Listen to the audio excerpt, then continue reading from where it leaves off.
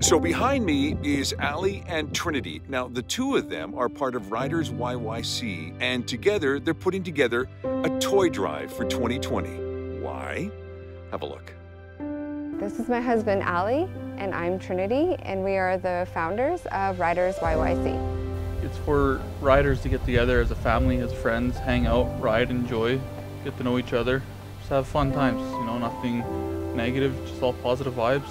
We do our best to help uh, fallen riders and their families or just riders or you know people in general that maybe need some help in different places in their life that uh, haven't worked out for them so we try to do some uh, helping and charity a little bit under the radar.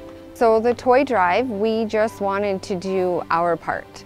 We have a platform, we thought we would for sure use it and see if we could just, you know, raise some, some toys or some cash funds for the fire department who also volunteer their time to, you know, just give back to kids and especially during right now during COVID, you know, these kids in the hospitals, they, they can't have visitors and stuff. So this just makes it all the more important that we do do this and we help.